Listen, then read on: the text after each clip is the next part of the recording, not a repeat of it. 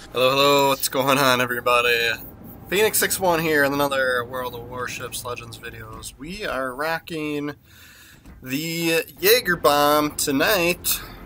So this was, what was this? This was a campaign ship a couple of campaigns back, right? So um, I was excited for it because it's a destroyer. I, I mean, I like playing destroyers, but I pretty much play everything, right? But this is kind of a destroyer's dream, right? There's a lot of battleships in this game and only one cruiser on the enemy team, right? So we've got we've got things to do, ships to kill.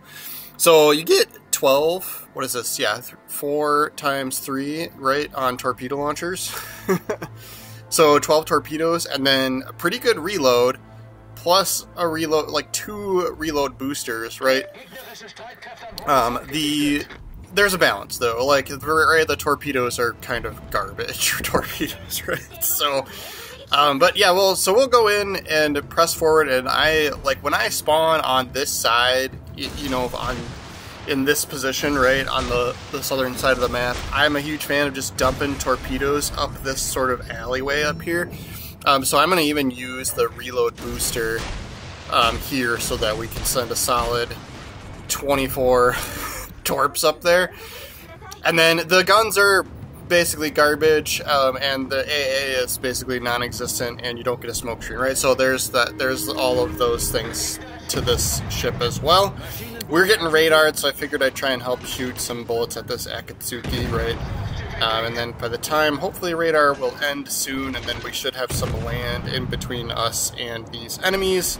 So hopefully we go unspotted here. But yeah, as you can see, my luck paid off, right? We got four torpedo hits shooting up that alleyway. Six, up to six now. Seven, there goes another one. But, you know, it took, uh, oh, now 11. Still counting, I guess. so that gave us uh, 75 grand there. But yeah, like I said, yeah, for um, any other ship, if you had 11 torpedo hits, that would be, you know, probably 100 grand plus, right? at these tiers. Um, so there's, yeah, we didn't get a kill either. 11 torpedo hits from, you know, those volleys and, and don't get a kill. Uh, but yeah, so Bismarck, uh, Bismarck, I think they've got sonar too, don't they? So he, he might have had a little bit of a heads up, right? Um, I think this constellation is what has the radar too, right? So, you know, I get a little overamped when we get when we do that much uh, right off the bat. So here I am again trying, you know, doing things I probably shouldn't do. I'm trying to lock onto that middle ship, that Anult, so we can fire torps for him. Um, but yeah, I was trying not to, you know, send all four racks at once, right? Like, trying to be a little bit smarter about it, but I just, like, I'm just like, I, I was too excited. I was too excited for all the damage we did in the beginning. Um, but yeah, we'll continue to. We kind of scared off that Akatsu, that Akatsuki, right? I, I'm just, I always say the names wrong, right? Um, we're not going to get anything on this constellation. Give us one. We get that one. There we go. There we go. That's something. That somehow triggered an incapacitation, but not a flood. That is fine. But yeah, you can see that like the flood chances are kind of low for this too. I think so. Out of 12 torp hits, we've only got three floods, but there is probably something to be said if uh, one triggered on one of those other ships. Um, they may have triggered their damage con as they were getting hit by the you know more torpedoes, right? But it is what it is, right? So we will add to this um, torpedo volley from our um, allied uh, destroyer here that's next to us as well. So this is kind of nice because we've got, you know, we do have the one, at least one destroyer over here, but we kind of scared them off, like I said. So um, we've kind of got free reign on some of these battleships here.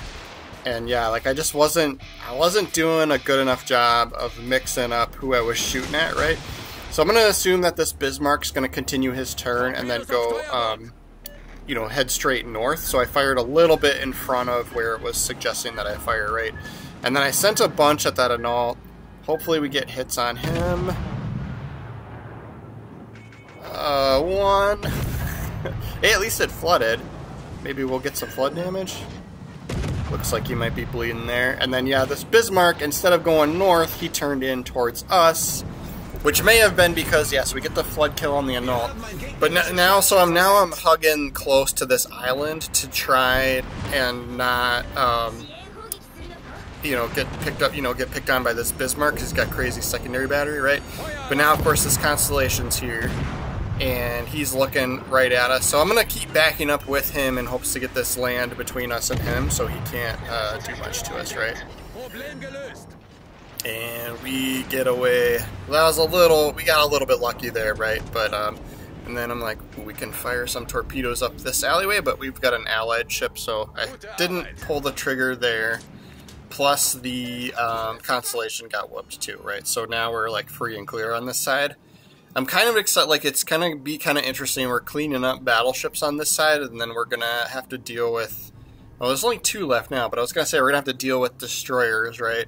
Which, like, with this ship, I'm gonna say I've had a lot of fun success uh, going after destroyers in this thing. Mostly because when it's um, you know, if it's a if it's a smoke screen centric destroyer, right? Like they'll park it in their smoke screen like even if they've got sonar, like as long as I'm not close enough for my ship to get picked up by sonar, but like you can just send so many torpedoes into that smokescreen that it's like they just don't have much of a chance, and it's such a great feeling, right? with this ship. Um, so you get like a couple of hits on them, you can take them out, right? But like I said, like torpedoes aren't they're not crazy good damage doers, right? So you do have to get more than one, right? Like whereas you know, I, you guys know me, I like to play my Shimakaze quite a bit, where in a lot of times you can get a single torpedo hit and kill a destroyer, right? Because of the way we've got that build. Uh, but yeah, so we'll come in. So we've got both destroyers in here, both smoking up plus this Kansas coming too, right? So I'm like, I'm, we're gonna divide and conquer here. Plus we've got our reload booster, and then this the Akatsuki comes out, and I'm like, ah. I was so excited for him to stay in, and then of course, yeah, we block our allies' torpedoes because he was thinking the same thing. Um, so I'm gonna send these right at where the Kansas is, but I know that that other destroyer's in there too. And then yeah, somebody finishes off the Akatsuki, so we don't have to worry about him. We're gonna use the reload booster. There's only these four. There's only four ships left, right? So I'm gonna use that consumable while we still can. And then of course somebody, you know, there was only that one ship for several of our friendly ships to shoot at, right? So like that's why he went down so quick. But yep, we do get the Benson with two torpedoes, so he is done for now. Now it's a matter of uh, let's chase down either a cruiser or a battleship, right? Everyone on our team is converging towards the B hole here so we can cap that zone, right? And then I do see, yeah, so A is getting capped, so their their um, battleship's going into A. So I'm like, all right, he's probably my best bet, but like, I mean, just look at the the ship count here.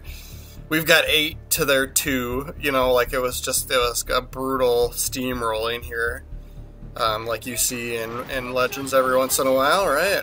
Some people like to say it too more too often, but hey, sometimes we're on the receiving end of this, right? So, um, trying to move in so that we can get a decent angle. We gotta wait for these allied battleships to get past. Plus, we're not, we're not quite yet reloaded, right? But I'm just I'm gonna send freaking everything, right? Because like this game's gonna be over. Like it's just there's yeah.